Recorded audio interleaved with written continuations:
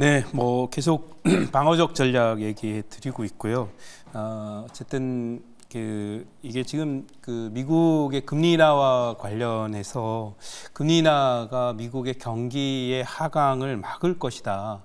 뭐 이런 얘기들도 있습니다만 사실 그 뭐 ISLM 곡선이라고 뭐 기본적으로 그 실물 시장의 균형과 또 화폐 시장 균형을 에, 그 어, 예, 설명해주는 음, 그 거시경제적 지표가 있는데요.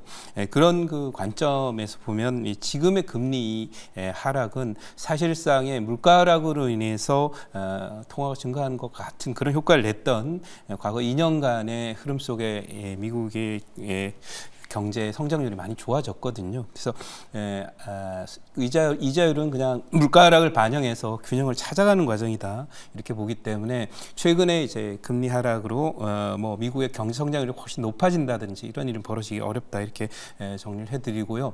에, 그렇기 때문에 에, 미국은 지난 주말에도 이제 상당폭 그, 빠지지 않고 이제 하방 경선을 보였고 에, 또 마이크론 테크놀로지라든지 인텔이라든지 이런 종목들의 기술적인 반등이 나왔어요. 에, 그런데 그런 부분은 이제 거시경제적인 요소나 에, 금리 어, 문제가 아니라 그냥 개별 재료에 의해서 움직였다 이렇게 저는 보고 있기 때문에 에, 오늘 또 이 지난 주말에 사실 인텔의 M&A설이 지금 나와 있잖아요. 예, 인텔을 그 퀄컴이 인수를 한다는 그런 내용 도 나와 있고 해서 이런 요인들이 이제 가는데 과거에도 M&A 재료에 의해서 주가가 상승을 하거나 했을 때 항상 주가가 이제 고점권에서 그런 일들이 많이 벌어지고요. 예, 그래서 그것은 이제 그냥 짧은 재료가 되는 경우들이 많았다는 거 참고했으면 좋겠고 그래서 방어적 관점에서 실적 turnaround 관련 종목에 예, 주목하면서 오늘도 계속 종목 편입 관련 종목 편입 진입을 해보도록 하겠습니다.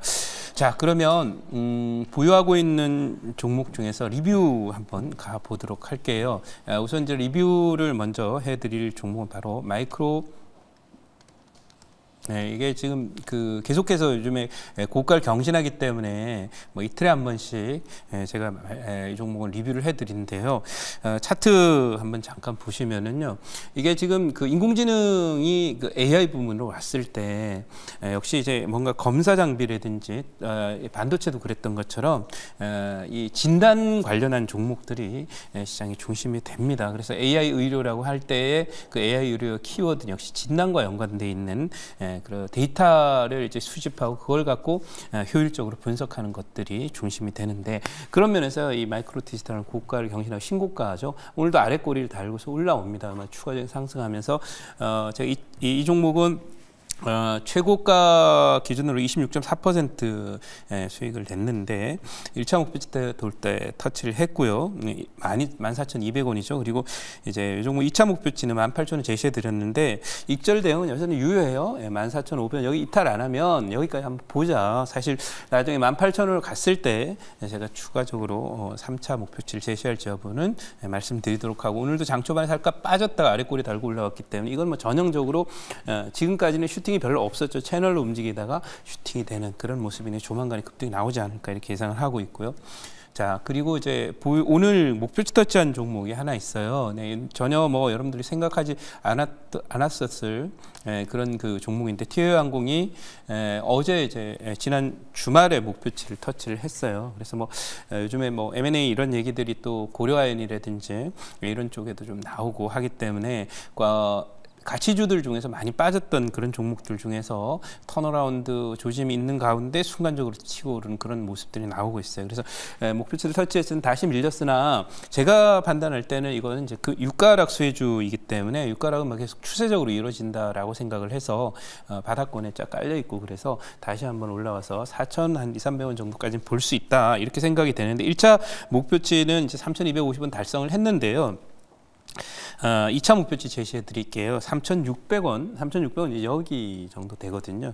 예, 그리고 어, 익절 대응은 익절 대응은 여전히 아, 뭐 계속해서 이 2,900원 정도 언저리 전후에 두고서 간다면 오늘 몸선 나왔지만은 다시 이제 본래 그 유가 하락 사이클에 맞춰서 종목이 상승하는 그런 그림 보이니까 상승할 것이다 이렇게 생각을 하고 있습니다.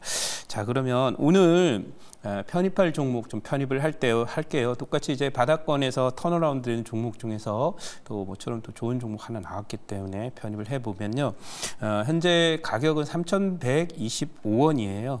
예, 종목의 이름은 음, 바로 현대 무벡스라고 하는 종목인데 과거에 이제 로봇주들이 갈 때 갔던 그런 종목인데 사실 이 종목은 그 최근에 어떤 인공지능 트렌드가 아, 산업 쪽에 가면서 물류라든지 예, 또는 아까 의료 아, 반도체도 이제 AI를 이용해서 반도체의 그 검사 장비 이런 쪽이 잘 갔던 것처럼 이 AI 트렌드가 확장 확산이 되면서 실적을 내주는 섹터가 있고요. 그렇지 않은 섹터들이 존재를 해요. 그래서 이 종목의 경우에는 이런 AI나 로봇이 결국 실적으로 연결이 되는 그런 섹터이기 때문에 어, 전반적인 경기 흐름은 좋지 않아 마치 이제 반도체 경기 흐름이 이제부터는 피크아웃이 돼서 안 좋아지지만 여전히 인공지능 반도체 관련 종목들은 내년에도 좋다 이런 얘기처럼 예, 똑같이 어, 전반적인 다 로봇이라든지 뭐 이런 섹터가 다 좋은 것은 아니고 그것이 각 개별 종목 쪽에 들어갔을 때 예, 혁신에 따라서 예, 결국 그 실적으로 어, 확인될 수 있는 종목에 관심을 둬야 된다 이런 말씀을 드리고 싶은 거고요. 자 그러면 오늘 그 어, 말씀드릴 이 무백스에 대한 에, 또 내용들을 좀 소, 개를 드리도록 할게요. 이 무백스라고 하는 종목은 에, 뭐 물류 자동화나 이런 부분을 하는 회사입니다. 그래서 그런 그 측면이고요. 에, 그래서 이제 뭐 어, 여러 가지 물류 자동화 쪽을 하면 좀 애매하죠. 물류라는 게 이제 창고 물류 등 생각을 하시면 되는데요. 에, 그런 그 창고 물류나 이런 쪽에서 이제 자동화 설비를 만드는 그런 회사인데 어, 이게 최근에 이제 실적이 좀 많이 좋아졌다는 내용이 나와 있고요. 그 다음에 제가 이 경기와 관련해서는 경제 성장이나 이런 부분들은 아, 내년에 아마 우리나라 수출 실적 뭐 좋지 않을 거다 이렇게 예상을 하는 것은요.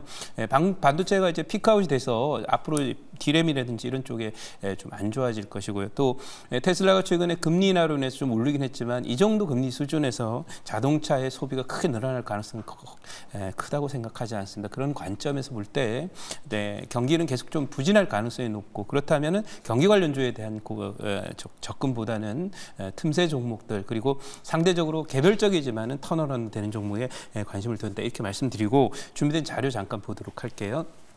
자, 준비된 자료를 보시면 여전히 이제 보면 반도체로 버텼, 던 대한민국 수요 둔화가 진행될 수 있는 또는 미국 경기 우려에 어떻게 될 거냐 한국 경제에 빨간 불 켜지나라고 해서 저기 물음표가 달려 있는 게 있어요. 왜냐하면 아직 확정적으로 빨간 불이 아니거든요. 오늘도 나오고 있는 최근에 수출 실적 보면 반도체의 그 후행 효과라 그러나요? 그런 부분으로 인해서 어, 지표상으로 수출이 나쁘지 않은 걸로 나오지만 반도체 경기가 꺾이게 되면 당연히 수출도 나빠질 수밖에 없는 그런 상태가 될 거기 때문에 물음표가 켜져 있는 이게 결국은 경기 둔화의 흐름을 아, 그대로 반영하게 될 거예요.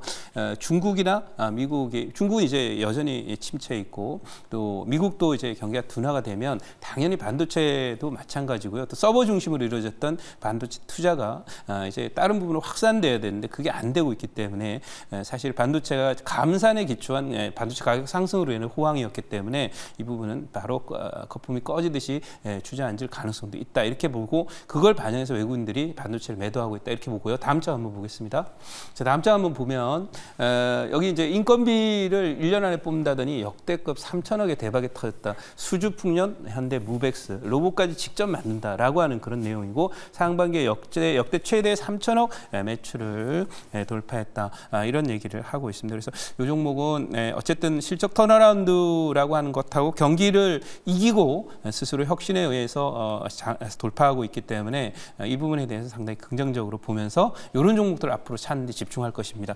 자, 이 종목 목표치 말씀을 드리도록 할게요. 네, 이 종목 목표치는 지금 이제 뭐 어, 반등에 따라 조금 조정을 받고 있는 그런 모습입니다만은 이 종목 1차 아, 타겟 목표치는 3천 500원 드리도록 하고요. 손절 라인은 2,700원으로 대응하도록 하겠습니다.